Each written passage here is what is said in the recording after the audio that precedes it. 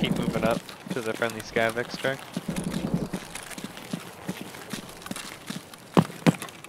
What if there's a friendly scav camping here? Then we extract. Would you trust him? Absolutely. There's someone there.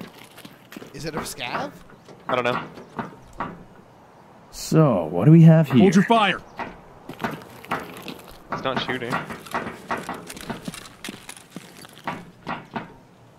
Cease fire.